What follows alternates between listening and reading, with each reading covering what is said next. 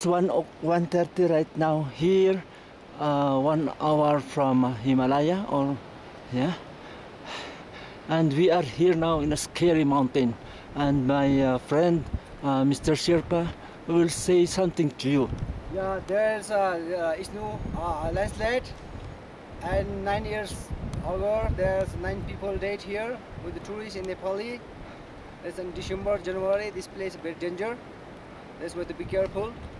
But now it's no, no problem. And now now it's here, uh, cloudy, and windy, a little bit cold, And freezing. freezing. It's a freezing right Yeah. now.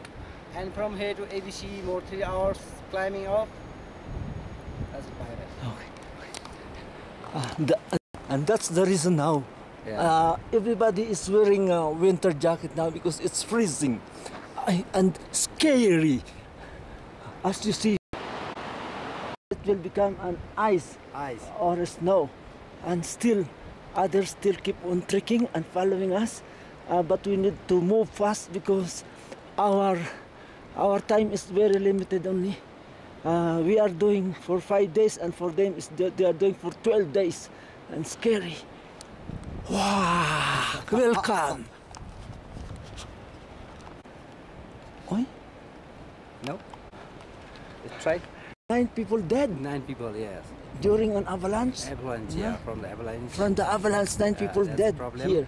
That's why this is very scary. Okay. Okay, here.